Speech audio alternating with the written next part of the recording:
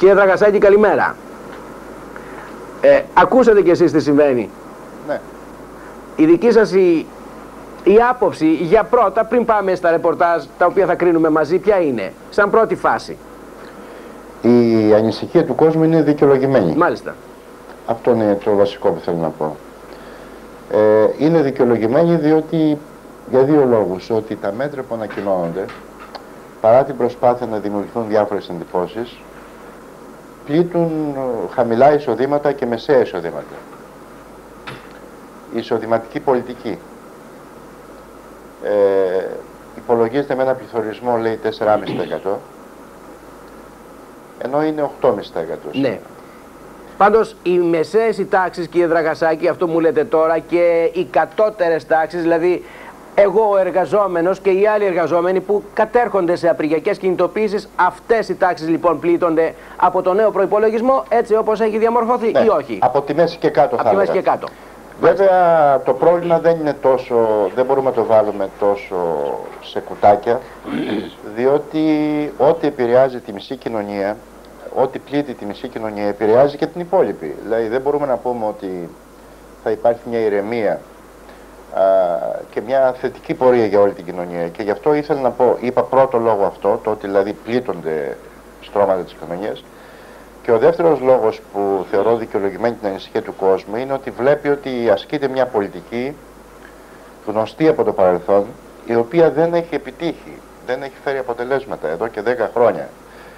Και νομίζω αυτή η δεύτερη διάσταση θα τη θεωρούσα ακόμα και πιο σημαντική, δηλαδή μια ανησυχία της κοινωνίας ότι είμαστε σε έναν δρόμο που δεν έχει στο τέρμα του μια αίσια έκβαση. Και γι' αυτό θα είναι, είναι αναγκαστικό να υπάρξουν αντιδράσεις, αντιστάσεις, ε, με την προσδοκία είτε μερικότερων προς το παρόν είτε και συνολικότερων αλλαγών σε αυτή την πολιτική που ασκείται.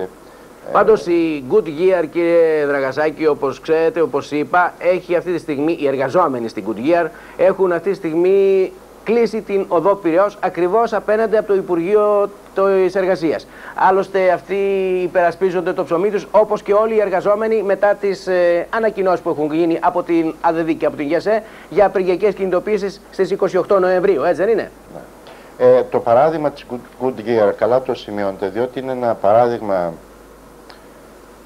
δύσκολο με την έννοια ότι έχω μια πολυεθνική εταιρεία η οποία ξαφνικά λέει δεν με ενδιαφέρει η Ελλάδα πάλι Ναι. οπότε από τη μια μεριά πρέπει να υπάρξουν μέτρα για αυτούς τους συγκεκριμένους ανέργους από την άλλη όμως θα έλεγα ότι πρέπει να μας α, χτυπήσει ένα καμπανάκι ότι η περίπτωση Good Gear δεν είναι η μοναδική. Ε, ειδικά στη Βόρεια Ελλάδα υπάρχουν εκατοντάδες επιχειρήσεις οι οποίες είτε κλείνουν είτε ενδεχομένως μπορούμε να μιλήσουμε και για μια νέα γενιά προβληματικών επιχειρήσεων.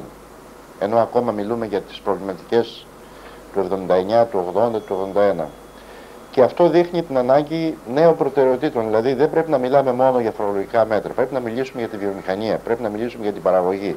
Πρέπει να μιλήσουμε για κλάδους της οικονομίας και πώς τους στηρίζουμε εφόσον είναι ανταγωνιστικοί ή πώς τους κάνουμε ανταγωνιστικούς. Δεν είναι δηλαδή η οικονομία απλώς ένα ταμείο πώς να το γεμίσουμε, αν θα το γεμίσουμε ή ελλείμματα. Αν θέλετε και τα ελλείμματα δεν θα κλείσουν τελικά αν δεν υπάρξει και μια ανάπτυξη στην οικονομία. Ναι. Κύριε Δραγασάκη, πριν προχωρήσουμε, θα συνδεθούμε με την αίθουσα σύνταξης του Τελεσίτη. Εκεί είναι ο εργατικός συντάκτης μας, ο οποίος θα μας πει, ο Γιάννης Οδεσπινάκη, θα μας πει το δελτίο το απεργιακό από εδώ και μετά, να μου επιτρέψετε να το πω έτσι. Δελτίο Θιέλης. Έτσι, το δελτίο Θιέλης όπως το είπατε εσείς. Γιάννη Δεσπινάκη μας ακούς. Ναι κύριε Καβανή, Καλημέρα. καλημέρες, καλημέρα κυρίες και κύριοι. Σκληρές Έχουμε απεργιακές απεργιακό δελτίο κινητοποίησεις αρχίζουν ειδήσεων. από σήμερα συνδικαλιστικοί φορεί της χώρας. Εν ώψη κατάστασης προπολογισμού. Α ακούσουμε λοιπόν το ημερολόγιο των κινητοποιήσεων. Σήμερα είναι κλειστοί οι Δήμοι και οι κοινότητες. Τα νοσοκομεία θα λειτουργούν με προσωπικό ασφαλείας για την αντιμετώπιση μόνο των εκτάκτων περιστατικών, καθώς από τις 11 το πρωί έως τις 3 το μεσημέρι η Πανελλήνια Ομοσπονδία Εργαζομένων σε δημόσια νοσοκομεία πραγματοποιούν τετράωρη στάση εργασίας. Αλίμονα να αρρωστήσει κανείς Γιάννη Δεσπινάκη. Λοιπόν, συνεχίζουμε. Στις 27 Νοεμβρίου μπαίνουν στο χώρο των απεργιακών κινητοποιήσεων οι δάσκαλοι και η νηπιαγωγοί. Στις 28 Νοεμβρίου, 24ωρη γενική απεργία από ΓΕΣΕ, ΑΔΔ και τις αγροτικές οργανώσεις που θα προβούν σε αποκλεισμούς των εθνικών οδών. Στις 28 και 29 Νοεμβρίου απεργούν οι δικαστικοί υπάλληλοι. Στις 10 Δεκεμβρίου, πορεία στο κέντρο των Αθηνών θα πραγματοποιήσουν οι συνταξιούχοι, ενώ μέσα στο Δεκέμβριο θα απεργήσουν εκ νέου οι καθηγητές για ένα διήμερο μέσα στο πρώτο δεκαήμερο του Δεκεμβρίου και για τέσσερις μέρες μέχρι τις γιορτές. Καταλαβαίνει κανείς, Γιάννη ε, Δεσπινάκη, τι συμβαίνει με το απεργιακό δελτίο ειδήσεων, έτσι; Κύριε Λοιπόν. Κομμένης, θα είναι ένας θερμός χειμώνας, καθώς πολλές ακόμα κινητοποιήσει δεν έχουν προγραμματιστεί. Και θα προγραμματιστούν μετά την κατάθεση του προπολογισμού. Να ευχαριστήσουμε τον Γιάννη τον Δεσπινάκη που μας έδωσε το δελτίο το απεργιακό και βεβαίως ο Γιάννης ο Δρακασάκης, ο συνάδελφο νομαρχιακός, ο βουλευτής του συνασπισμού, θα μας πει περισσότερα. Γιάννη, ο λόγος σε σένα. Πρέπει να επιτέλους να γίνει μια συζήτηση των προβλημάτων τα οποία παραμένουν τόσα χρόνια, να υπάρξει μια εξήγηση στον κόσμο γιατί επί 10-15 χρόνια μιλάμε για ελλείμματα και τα ελλείμματα αναπαράγονται, γιατί μιλάμε για φοροδιαφυγή και αντί να αντιμετωπίζεται διευρύνεται, ε, ούτως ώστε να όσοι τουλάχιστον ε, από τους πολιτικούς, να το πω έτσι, διότι τώρα έχουν προβληματισμό. Συμπεριλαμβανομένου και του κυρίου Γιάννη Δραγασάκη, έτσι. Βεβαίως. Ωραία. Διότι τώρα, ας πούμε, πάλι βέβαια έχουμε τα κόμματα με τις ευθύνες τους, αλλά βλέπω και κάποιο προβληματισμό να αναπτύσσεται μέσα σε όλα τα κόμματα. Δεν μπορώ δηλαδή, να πω ότι και μέσα στο Πασόκ δεν υπάρχουν βουλευτές που ανησυχούν, προβληματίζονται για διάφορους λόγους. Ή ότι και στη Νέα Δημοκρατία, ας πούμε, παρά τα εσωτερικά τους προβλήματα. Έλεγα λοιπόν ότι πρέπει να γίνει μια συζήτηση επιτέλους για πολιτικές, για μακροχρόνιες πολιτικές, οι οποίες αρχίζοντας να εφαρμόζονται από σήμερα, μπορούν να οδηγούν σε λύσεις σε αυτά τα προβλήματα. Διότι σήμερα έχουμε αυτά, αύριο θα έχουμε πάλι νέα μέτρα. Ναι. Δηλαδή βλέπετε στα φορολογικά μέτρα πάλι, ε, αν δούμε τους αριθμούς, πάλι πληρώνουν αυτοί που πλήρωναν ως τώρα. Δηλαδή μόνο από ένα μέτρο, το ότι δηλαδή δεν τιμαριθμοποιεί τις φορολογικές κλίμακες, αλλά ενώ αυξάνει το εισόδημα πλασματικά λόγω πληθωρισμού, αυξάνει και ο φόρος μαζί, μόνο από αυτό το μέτρο, ανακοίνωσε χθες ο κύριος Δρής ότι θα υπάρξει επιβάρηση ε, 105 δισεκατομμύρια δραχμές. Αυτή Μεγάλο- η επιβάρυνση θα είναι μεγαλύτερη από τα 105 δισεκατομμύρια όπως είπατε κύριε Δραγασάκη και έχω την εντύπωση ότι όλα αυτά τα χρήματα α, θα προέρθουν από το λαό αλλά δεν ξέρουμε πού Αυτό θα πάνε. έλεγα. Έτσι Αυτό δεν ειδικά είναι. το μέτρο που λέμε, φορολογική κλίμακα, αφορά κατά ένα μεγάλο μέρος βεβαίως, Ακριβώς. μισθωτούς, συνταξιούχους και κάποια άλλα τμήματα της κοινωνίας. Εάν από την άλλη πλευρά τώρα πάρουμε και συζητήσουμε λίγο αυτά τα άλλα μέτρα που ανακοινώνονται, έντοκα γραμμάτια, ακίνητη περιουσία κλπ. Πρώτον, η κυβέρνηση δεν δίνει αριθμούς. Και δεν δίνει αριθμούς διότι είναι αμφίβολο το αποτέλεσμα. Ναι, ναι. Δηλαδή με τα έντοκα γραμμάτια, ξέρετε, υπάρχει μια συμφωνία με την ε, Μεγάλη Βρετανία όπου οι Βρετανικές τράπεζες ή και Βρετανοί πολίτες μπορούν να αγοράζουν έντοκα γραμμάτια χωρίς να πληρώνουν ε, φόρο στην Ελλάδα. Εάν αυτό δεν ρυθμιστεί, τότε θα έχουμε το παράδοξο φαινόμενο ένας Έλληνας που θέλει να πάρει έντοκα γραμμάτια να πηγαίνει σε μια αγγλική τράπεζα να το αγοράζει παρακάπτοντας ε, το φόρο τώρα που συζητάει να βάλει η κυβέρνηση, αλλά πληρώνοντας ενδεχομένως φόρο στην Αγγλική Τράπεζα. Θέλω λοιπόν να, ενώ το μέτρο ως προοπτική είναι σωστό, βλέπουμε εδώ και προβλήματα σχεδιασμού, βλέπουμε μια κυβέρνηση να αποφασίζει. Υπάρχει σχεδιασμός κύριε Δραγασάκη, σε Φαίνεται, αυτό πάνω θέλω εδώ, να μου εδώ ο πείτε. κύριος Σιμίτης πρέπει να έχει δημιουργήσει έκπληξη και στους πιο φανατικούς οπαδούς του, διότι θυμάστε ότι ένας κόσμος έτσι είδε θετικά το Σιμίτη, ε, όχι τόσο ως φορέα μιας άλλης πολιτικής, δεν νομίζω ότι ο κόσμος έχει αυταπάτες, αλλά σου λέει καθηγητής είναι, σοβαρός φαίνεται, ε, κάποια τάξη μπορεί να μπει. Και εδώ βλέπουμε σε τέτοια κρίσιμα και ευαίσθητα θα έλεγα θέματα, όπως είναι η φορολογία των τίτλων, όπως είναι φορολογικές παρεμβάσεις στην διατραπεζική αγορά, α, να, μην, να ανακοινώνονται χωρίς να υπάρχει σχεδιασμός. Ή τη μια μέρα να ανακοινώνονται από ένα υπουργό, αν θυμάστε, ως ιδέα, την άλλη μέρα να διαψεύδονται και τελικά να εφαρμόζονται. αυτό μου θυμίζει κύριε Δραγασάκη, συγγνώμη σας διάκοψα, αυτό που έλεγε προεκλογικά ο Πρωθυπουργός ο Κώστας Οσημίδης, αλλά και το Πασόκ ολόκληρο, ότι δεν θα μπουν άλλοι φόροι. Και δεν θα μπουν άλλοι φόροι και δεν θα έχουν Και δεν δυνατότητα μπήκαν. Και δεν μπήκαν. Ούτε, το, το παράδοξο είναι αυτό ότι δηλαδή εγώ δεν μπορώ και, δεν μπορώ και να το καλαπορίσω όπως εσείς διότι δεν ξέρω μου κάνει εντύπωση αυτά τα πράγματα δηλαδή πριν τις εκλογές και εγώ και άλλοι βουλευτές άλλων κομμάτων προσπαθούσαμε να πούμε στον ελληνικό λαό ότι ξέρετε υπάρχουν ελλείμματα ότι ξέρετε μετά τις εκλογές πρέπει να βρεθούν 900 τόσα δισεκατομμύρια δραχμές. Και έβγαινε τότε η κυβέρνηση και προσωπικά ο κ. Παπαντονίου και μας αποστόμωναν ότι δεν υπάρχει πρόβλημα, υπάρχουν ελλείμματα, αλλά έχουμε τρόπο να καλύψουμε. Δεν θα κάνουμε λιτότητα, δεν θα επιβάλλουμε νέους φόρους. Ενώ λοιπόν έκανε την προσπάθεια η κυβέρνηση και έπεισε τον ελληνικό λαό ότι δεν υπάρχει πρόβλημα, τώρα κάνει με την ίδια ευκολία, την ίδια προσπάθεια να τον πείσει ότι τα πράγματα είναι δραματικά, ότι χρεοκοπούμε, ότι μένουμε εκτός Και όπως είπε και ο Κώστας ο Σεμίδης, ο Πρωθυπουργός, ή τώρα ή ποτέ. Ναι, ναι. Έτσι είπε τουλάχιστον. Ε, νομίζω ότι είναι ένα κλίμα, θέλουν να δημιουργήσουν ένα κλίμα ιστερίας, ευρωιστερίας. Ευρωιστερίας λέτε. Ναι. Και μου θυμίζει εμένα τουλάχιστον το αντίστοιχο κλίμα του 85, αν θυμάστε, όπου μετά από την υπόσχεση για καλύτερες μέρες. Δεν είχαμε καλύτερες μέρες και δεν δεν είχαμε. Θέλω να σας θυμίσω ότι και τότε δημιουργήθηκε μια ιστερία. Μάλιστα. Α, μειω, πάγωσαν οι μισθοί τότε, ψηφίστηκε νόμος που απαγόρευε τις αυξήσεις, ε, με κεντρικό τότε σλόκαν καταναλώνουμε περισσότερα από όσα παράγουμε. Και εμπρός να κόψουμε την κατανάλωση. Τελικά βεβαίως κόπηκε η κατανάλωση των λαϊκών στρωμάτων κλπ.